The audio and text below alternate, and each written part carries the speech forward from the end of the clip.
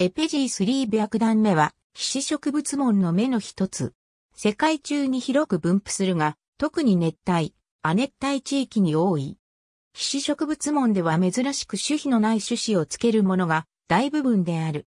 この目に属すものの多くは、半寄生植物であり、光合成によって糖を作り出すことができるが、他の植物に茎や根を絡みつかせて、水とミネラルを得ている。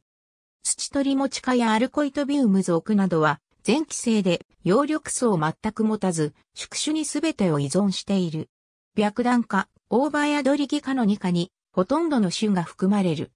土取持ち科の系統的位置は詳細に調べられていないが、おそらく白檀目の規定あたりに位置すると考えられている。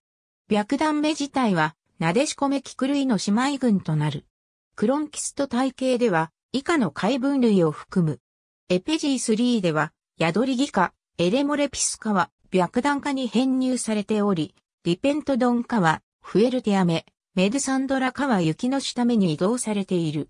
シンエングラー体系では以下の7科が含まれる。エペジー3ではグルピア科は水決めとされている。ありがとうございます。